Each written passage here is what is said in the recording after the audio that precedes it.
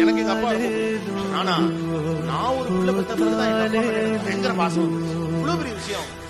என் அஃபோர்டபிலிட்டிக்கு நான் இவ்வளவு செய்யறேன் ஒரு சொத்தே இல்லையா? பூர்வீக சொத்தை விற்பதை ரொம்ப தப்பா பார்ப்பாங்க. எங்க அப்பா எல்லா பூர்வீக சொத்தை வித்துட்டாங்க. எங்க வீட்டுல விருது கிடையாது. கரிகால் கிடையாது அசல் கிடையாது ஒரு கரும்பு கிடையாது. கறி போடி அப்படின்றாரு. சாமியே பிள்ளைக்கு அப்புறம் தான் அந்த லெவல் தான் அப்பா லெவல்